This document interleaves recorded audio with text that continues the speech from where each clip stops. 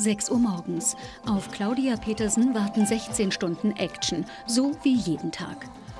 Frühstücken, Pausenbrote schmieren, den Tag koordinieren.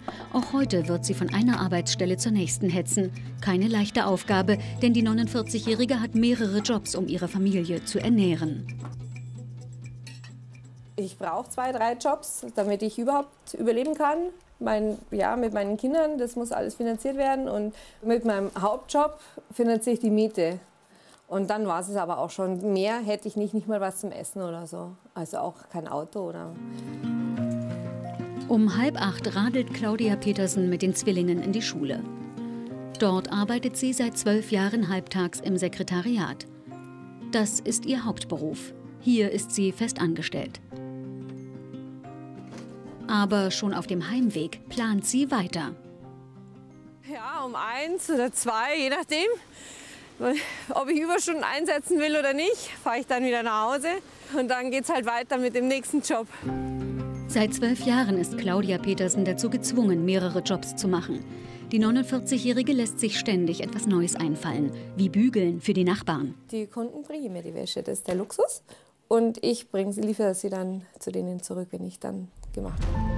Auch Romy Schneider musste feststellen, dass ihr Beruf als Altenpflegerin für Demenzkranke nicht genügt, um im teuren München über die Runden zu kommen. Heißt für sie nach Dienstende ab in den Bus und auf zum Nebenjob Putzen.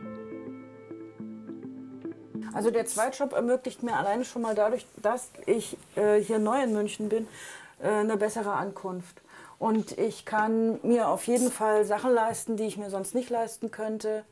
Möbel natürlich, die mal ein bisschen besser sind. Hauptjob und mehrere Nebenjobs. So geht es rund zweieinhalb Millionen Arbeitnehmern in Deutschland. Heinrich Birner von der Gewerkschaft Verdi befürchtet, dass gerade in den Städten die Tendenz zum Multijobbing weiter steigt.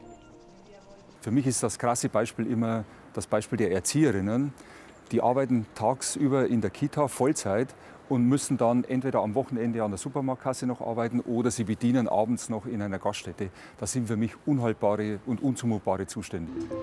Besonders schwierig für Romy Schneiders Zeitmanagement. Ihr Tagesrhythmus richtet sich nach der Patientin.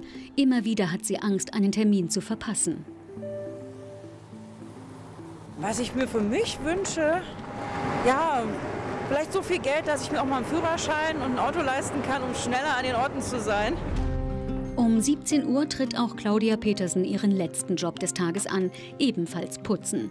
Insgesamt reinigt sie vier Häuser mehrmals pro Woche, auch samstags. Jammern nicht ihr Ding. Was wünsche ich mir für die Zukunft?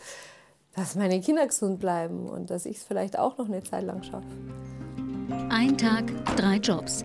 Claudia Petersen kann endlich nach Hause. Und dort warten schon ihre hungrigen Kinder auf sie.